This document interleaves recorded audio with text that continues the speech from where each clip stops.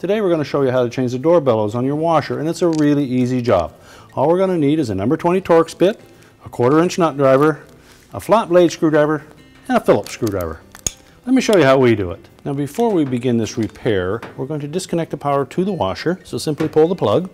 The first step will be to remove the lower access panel. We'd like to pull the washer ahead just a little bit so that we can tilt it back and then we'll put a couple of 2x4 blocks under the front legs just to make it easier to access the screws securing the access panel. With a quarter inch nut driver, we'll remove the three screws. I like to start with the two outside ones first, and then remove the center one last. And you may need to have a little upward pressure on that panel to hold it in place while you remove the screw. And let it drop down You'll note that there are two locating tabs that fit into matching slots in the bottom of the front panel. So we'll set the access panel aside. Now next we'll remove the soap box. Just pull it out until it catches on the stop and then depress that little tab at the back left corner which will release it and allow you to pull it completely out. We can then remove the number 20 Screw just to the left of that opening. And then we're going to just lift up gently on that control panel to disengage some tabs across the top. There's one in each corner and one in the center. And if need be, just take a flat blade screwdriver and gently pry it upwards. Once we remove the console, you'll see where there are three little tabs across the top of the control panel and a locating tab on the right hand side that fits into this slot. And the little tabs on the top fit into that retainer bar across the top. So we can set that aside. Now we also have two quarter inch hex head screws on the top and two in the bottom that secure that front panel. But before we remove those, I'll open the door. We're going to remove the two screws that secure the door latch assembly to the front panel. They're number 20 Torx screws. And they have a built-in flat washer on those screws, so we want to make sure that we don't mix these up with the screw that held the control panel in place. Next, we're going to disengage the bellows from the front panel. And it has a metal band clamp around it with a short spring on the very bottom. So with a flat blade screwdriver, we're just going to go in between that bellows and the metal clamp and just pull outward on it enough that we can actually roll it off of the front panel. We'll set that aside. Then we're going to pull that bellows away from the front panel all the way around. You'll see that it has a little groove in it that fits into that formed channel on the front panel. So just peel it out all the way around and then tuck it inside, out of the way. Now we can remove the front panel with the door attached. So we'll remove those top screws first and then the two on the bottom. Just keep a little pressure against that front panel to hold it in position. Now with the weight of the door on that front panel, you want to use both hands to just pull out on the bottom bit and let it drop down. Then you can pull it out far enough that you can lift it right out of the way. And we'll set that aside. We now have access to the door bellows. And it's held in place with a clamp similar to what engages on the front panel, except that it has a screw type fastener on the side. So with a Phillips screwdriver, we're going to loosen that clamp and just take note how much that clamp tightens before you remove the old one. And we can just lift that clamp out of the opening and again has the same type of a wire band and we'll set that aside. Now we can peel the boot off the outer tub and we'll discard the old bellows. Now to install the new one we need to first of all find out where the top of the boot is. There'll be some drain holes on the bottom. The top will have an arrow shaped projection that faces in towards the tub. Now we'll need to look at the outer lip. This is where the band will fit. And if you fold that open, that's what is going to engage around that tub. So before we put the new bellows on, we'll clean up any soap debris around the lip of that tub first. So just with a mild detergent and water, we'll clean that up first.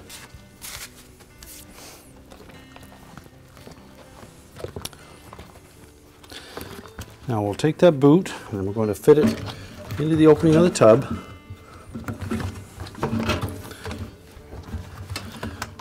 To center up the very top.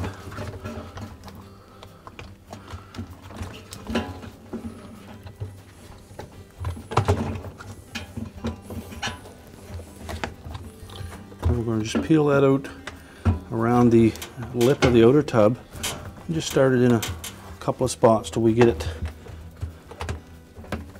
roughly into position.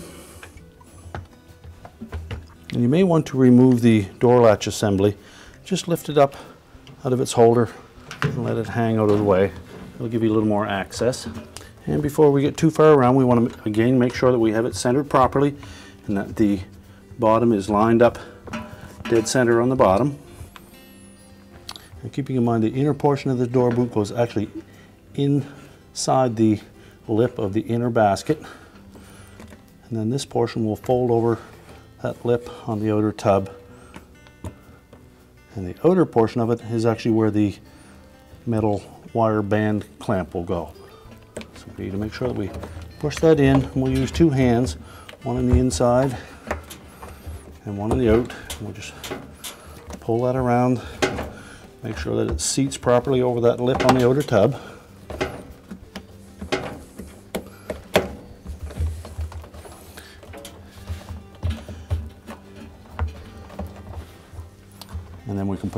On it.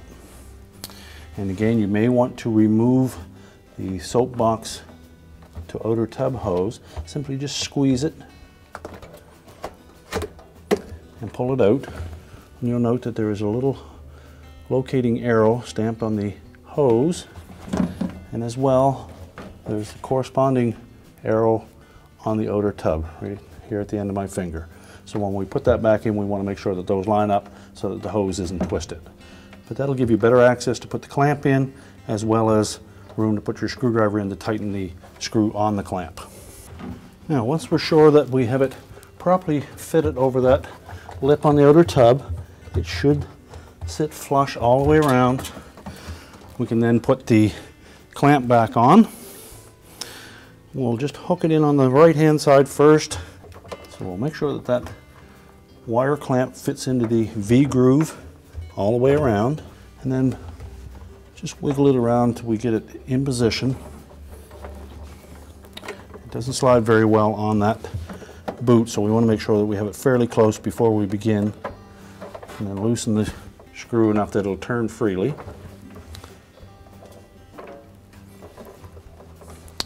What we need to be careful of is that this little curled portion on the wire band right below the head of the screw does not get down into the threads. If that happens, the screw will not engage or will engage the threads and it won't tighten the clamp. So make sure it's sitting flush on it first. We can then tighten it up and just double check, make sure it hasn't popped out anywhere. And if this soapbox to tub hose is in your way, you can pop that out of the tub quite easily. Just tuck it back out of the way so that you have more access for your screwdriver. Now make sure it's tightened securely. Again, check to make sure that we haven't popped it out anywhere. And then make sure that we fit that soap box hose back into the opening. Now it has quite a flange that actually goes inside the opening and then you'll notice there's a smaller flange that sits on the outside of the tub. And there's a little locating arrow there too that matches up with an arrow on the front of the tub cover. So just force it into the opening and then pull it back out until it sits flush. Make sure it's rotated in the proper direction so it doesn't kink. Now before we put the front panel back on, we'll set the door latch into its holder, and then we can put on the front panel. So we need to engage these two corners where the holes for the screws are going to go through, properly in behind, as well as that whole perimeter edge is going to fit in behind that upper access panel. So we'll tuck one side in, tuck the other in, and then press it into place. Then we'll need to hold that there long enough to put a couple of screws in it. We won't tighten those yet until we get the bottom ones in. We want to make sure that we have that front panel square to the cabinet and tighten those screws securely as well as the top ones. Next we'll open that door and we're going to guide that door latch into the opening and we'll replace those two screws. Those are the number 20 Torx with the flat washer built in. So we'll just start them first. I want to make sure that the door switch button fits into that opening in the front panel before we tighten it so that it doesn't bind up. Then we can snug those screws up. Next we're going to pull that door boot through the opening. And then similar to how we mounted it on the outer tub, we'll note that there is a V groove all the way around the outside that a metal clamp is going to fit into, as well as the reverse side of that will tuck around that lip of the door opening. So we need to first fit that in there all the way around. And when properly fitted, it should sit flush against the front panel. If you have difficulty with that bellows sliding over that lip, you can moisten the back side of it with just water and that'll make it slide into place a little easier. And check all the way around, make sure it's flush and seat it properly, tucked right into the opening. It is recessed in that area and the lip of that bellows should tuck right into that recess.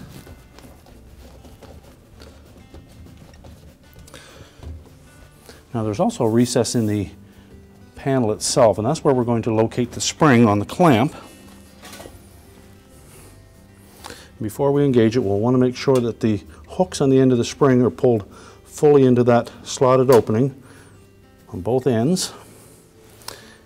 And then we can just lay that into that V groove, make sure it fits firmly into it.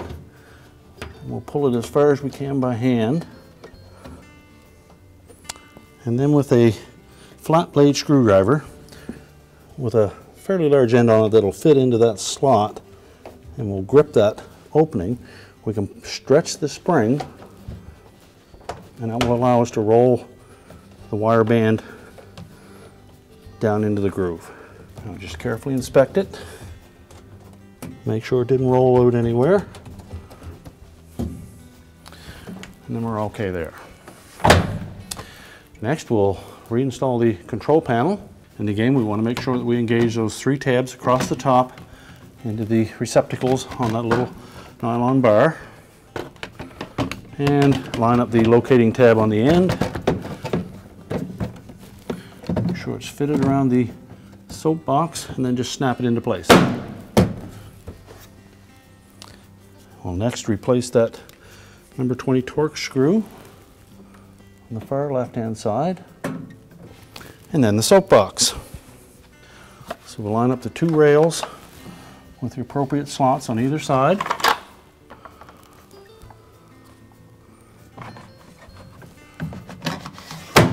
And just pull it back out to make sure that the stop is working properly. We can now put the lower front panel in. Now make sure the locating pins line up with the opening on the bottom of the front panel. And then put the center screw in first while holding an upward pressure on that panel, and then the two outside ones. Next, we can tilt the machine back enough to remove the temporary blocking.